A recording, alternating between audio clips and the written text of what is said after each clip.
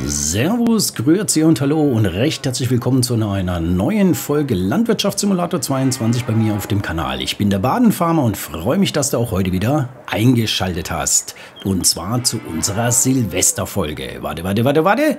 Ja, nicht abschalten. Ich weiß, dass nicht immer alle bis zum Schluss gucken. Darum will ich es auch jetzt gleich loswerden. Es ist Silvester und darum wünsche ich dir alles Gute für das Jahr 2023. Beste Wünsche, Glück und Gesundheit. Ich wünsche dir einen schönen Abend, einen guten Rutsch und dass wir uns dann nächstes Jahr hier wieder auf meinem Kanal sehen. Also, falls du jetzt schon losgehen möchtest und feiern, dann sei es dir gegönnt. Ansonsten würde ich mich freuen, wenn du noch ein bisschen hier bleibst, denn ich bräuchte dringend deine Hilfe, denn wir haben ein kleines Problem. Ja, das zeige ich euch nämlich. Wir haben ja hier unsere Mukus unsere lieben, lieben Tierchen, die wir auch in der ganzen Staffel hier oder die sollen uns auch die ganze Staffel über hier begleiten, denn wir werden uns hier schon ein bisschen auf Milchproduktion äh, Milchproduktion spezialisieren.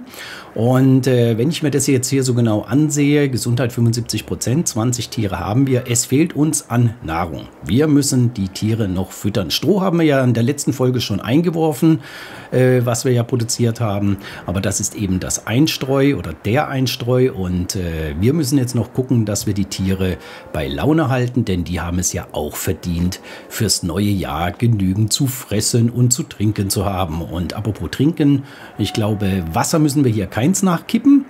Das wird hier automatisch gehen. So, aber was ist jetzt das Problem? Ja, na, wir brauchen natürlich einen Futtermischwagen, denn wir gucken mal kurz rein.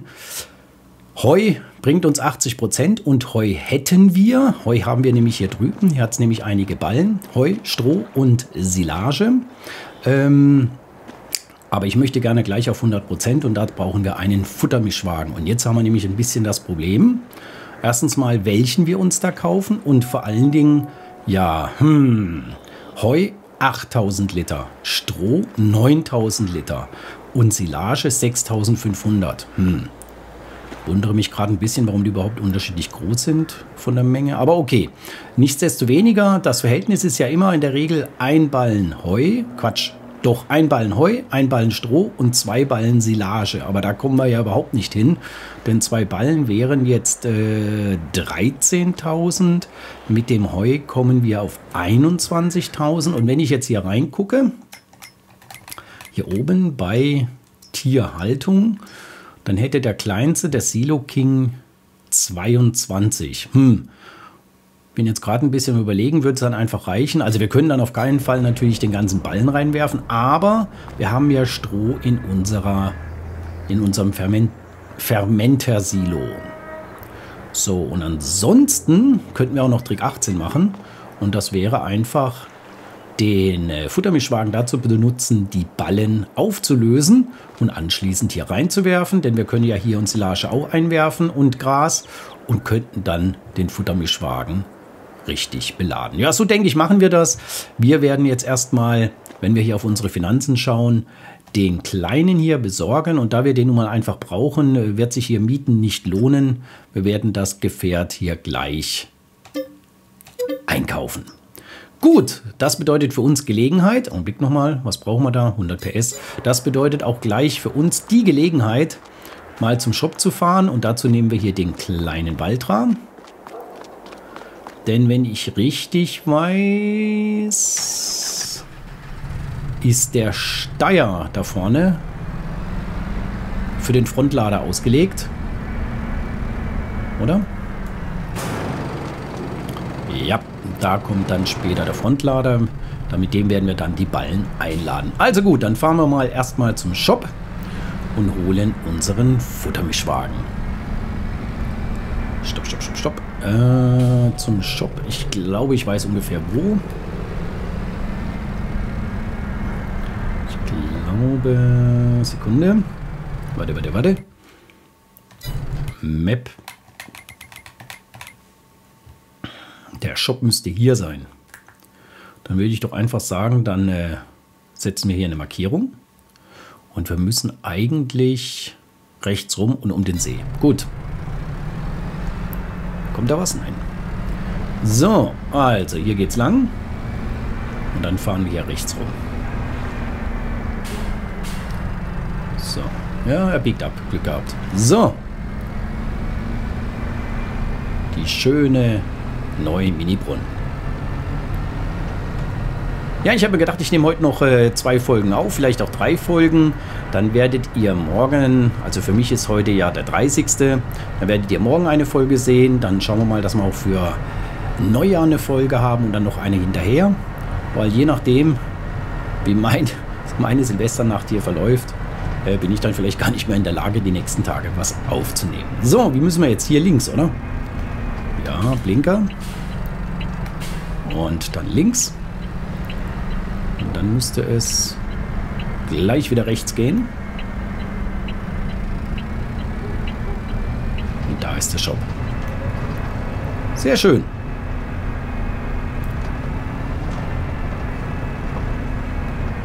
Ups. Eigentlich hätten wir ja Vorfahrt gehabt, ne? So. Okay, da ist der Shop. Und wo steht das Gerät? Stimmt auf der anderen Seite. Ja, holla die Waldfee. Da steht er doch. In seiner ganzen Pracht. Gut. Der gute Silo King. Wird immer wieder gerne genommen. Sehr schön. Und damit können wir dann Futter machen für unsere Kühe. Und danach wollen wir dann mal schauen, dass wir auch unsere Miese, äh, unsere Wiese, nicht unsere Miese, unsere Wiese mähen. Und dann müssen wir uns Gedanken machen, was wir mit dem Kartoffelfeld machen. Tendenziell denke ich, ups, ist dazu. Kann man da aufmachen? Ne, da kann man nicht aufmachen. Müssen wir auf der anderen Seite raus. Äh, tendenziell bleibt es dabei, ich denke, wir werden die Wiese, Quatsch, die, das Kartoffelfeld werden wir pflügen. Ja. Ob wir das jetzt gleich anschmeißen, müssen wir auch mal schauen. Weil Pflug haben wir vermutlich nur einen kleinen. So, was haben wir jetzt für ein Problem? Hm, da ist eine Stange. Da müssen wir tatsächlich ausholen. So. Rechts ist frei, links ist frei und dann wieder zurück. So, und um die Gegend ein bisschen kennenzulernen, nehmen wir jetzt den anderen Weg um den See herum. Ja, wie gesagt, wir müssen noch mal schauen, mit welchem Trecker und mit welchem äh, äh, Gerät wir dann die, das Feld pflügen. Ich denke, einen Flug haben wir. Müssen wir mal schauen, wie leistungsstark der ist. Aber jetzt genießen wir hier ein bisschen die Landschaft.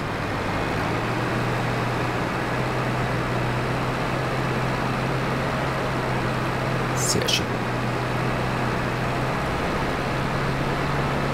So, hier geht es ja nicht links rein. Unter der Brücke durch. Ja, hier gibt es noch viel, viel Gelegenheit, die Map kennenzulernen. Hier werden wir schon noch ein bisschen herumfahren. Da drüben ist jetzt der kleine Teich mit der kleinen Insel drin. So.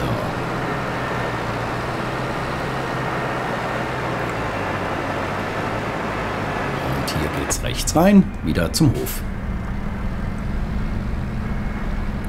Yep.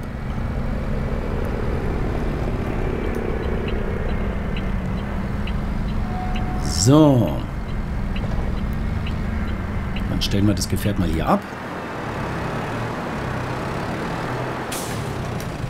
So, dann gehen wir zum Steier. Dann gucken wir mal. Das müsste eigentlich hier in der Halle stehen. So, Ballengabel, genau. Hauer. Und ein Gewicht, denke ich, kann nicht schaden. 9000. Das ist schon ordentlich für einen Ballen.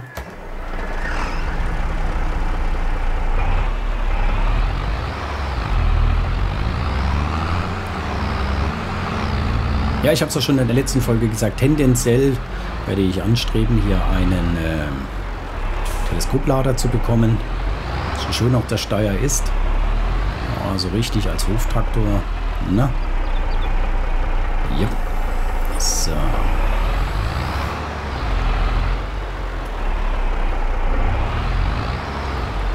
Weiß ich nicht. Da verbuckelt er mir einfach ein bisschen zu viel rum, was die Schaltung angeht. So, das wird hoffentlich passen. Yep.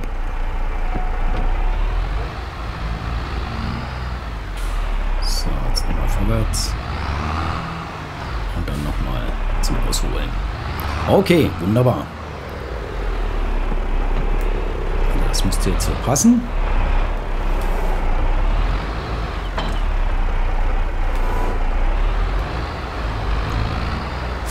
Und dann wollen wir einige von den Ballen mal einladen. Fangen wir mit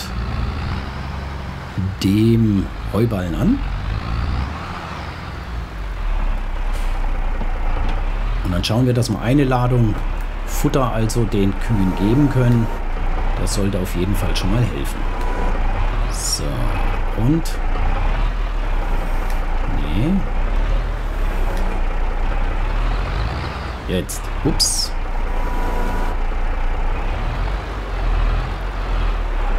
Sehr schön. Okay, das passt jetzt.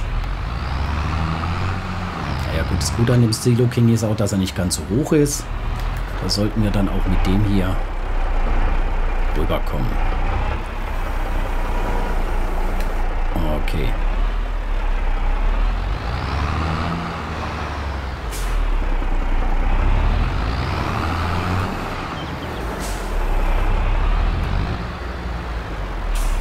So, dann machen wir hier mal hm, die äh, Folien weg. Okay.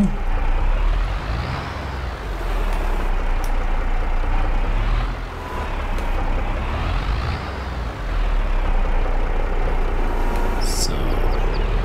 Das passt.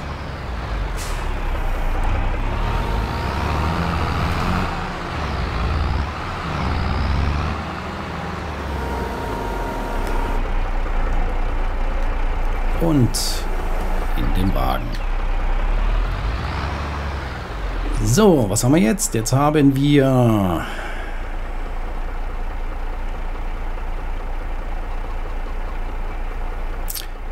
Vierzehntausendfünfhundert. Jetzt haben wir ja Stroh im Silo. Dann schauen wir mal.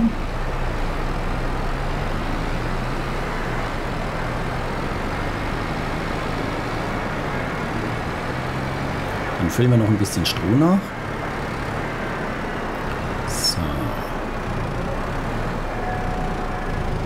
So, und da schalten wir jetzt aber mal die Hilfe wieder ein, dass wir auch sehen, was hier passiert.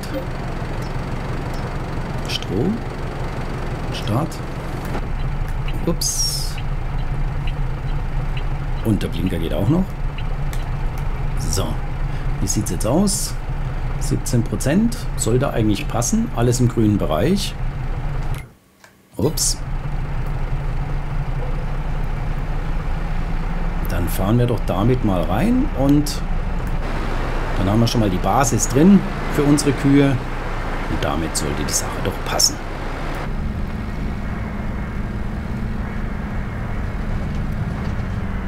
So, auch auf der richtigen Seite, so wie es aussieht.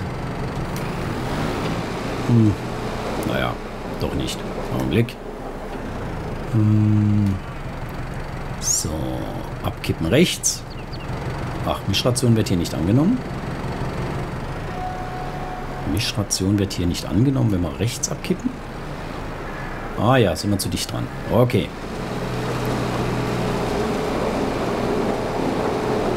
So, da kommen sie auch schon. Mmh, lecker, lecker, lecker, lecker Futter. So, dann schauen wir mal ganz kurz hier bei unseren Kühen rein. Bingo, passt doch. Mischration 17.609.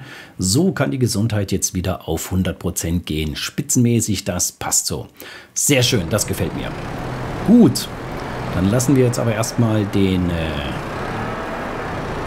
Wagen hier stehen. Schauen wir jetzt erstmal, was wir hier noch an Material haben, um nämlich jetzt äh, das Kartoffelfeld zu pflügen. Haben wir einen Fluch? Hier, wir haben einen Fluch. Hier ist er doch. Hier ist ein Fluch. Gut, der gehört mir. Das ist schon mal eine wichtige Information. Dann schauen wir doch mal, was wir hier brauchen. 160 PS, das heißt, da müssen wir mit dem großen Valtra ran. Oder der hatte 190, richtig, der hatte 190. Okay, dann gehen wir zum Valtra. Packen das große Gewicht drauf. Wobei, jetzt fällt mir gerade ein, wenn wir mähen wollen, wenn wir, wenn wir mähen wollen, 70 PS. Und das Teil braucht 160 PS. Uiuiuiui. Dann werden wir jetzt erstmal... Hm. Ich denke, das Feld kann eigentlich warten. Dann holen wir lieber erstmal... Nee, stopp. Dann holen wir doch lieber erstmal... Genau, und das werden wir mieten. Und dann versuchen wir unser Glück mit dem Waltra hier und schauen mal, wie weit wir kommen beim Mähen. Weil das Feld sollten wir auf jeden Fall mähen, bevor wir dann uns ums Pflügen kümmern. Aber zuvor werden wir hier ein bisschen aufräumen, weil hier läuft ja auch noch der Motor. So.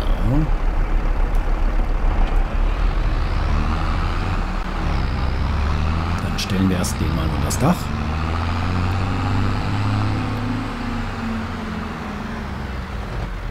So. Huch. Das müsste so passen. Licht machen wir aus. Na. So, jetzt.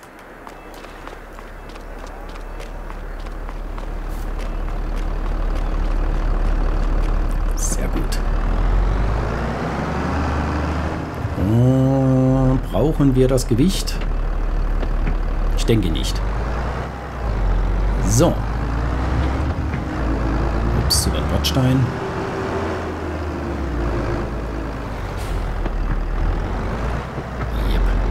frei. Dann mal los.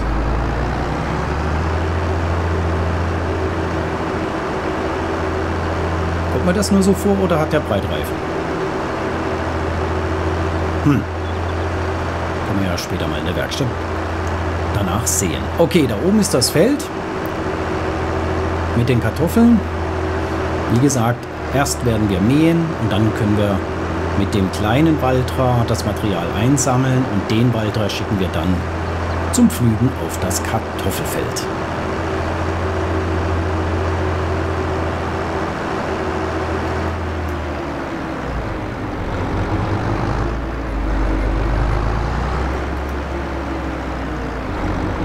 So, damit wir hier rechts runter zum Shop. Und da sind schon wieder die Rehe.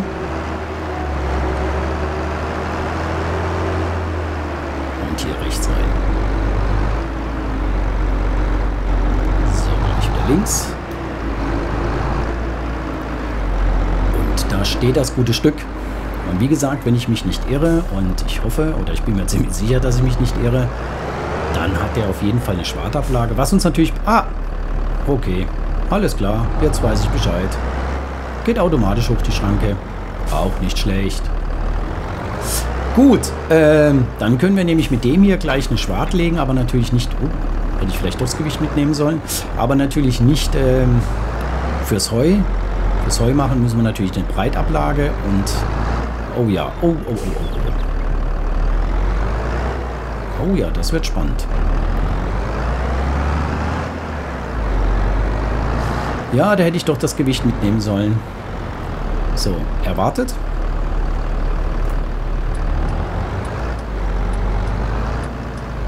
Ja, da müssen wir ganz langsam um die Kurven fahren.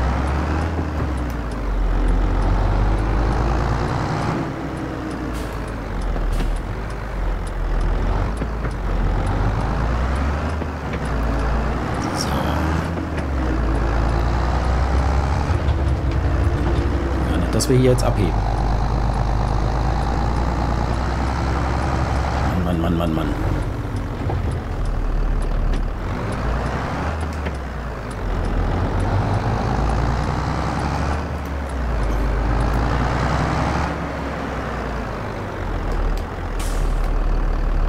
der biegt ab. Gut.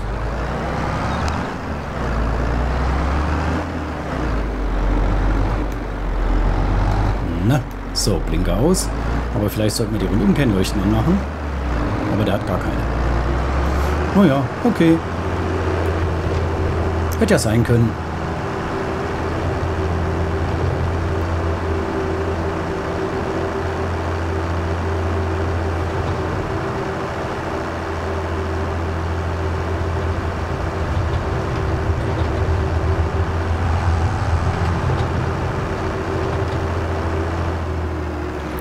So, geht's hier schon rein? Nein, hier geht's noch nicht rein. So, hier geht's rein.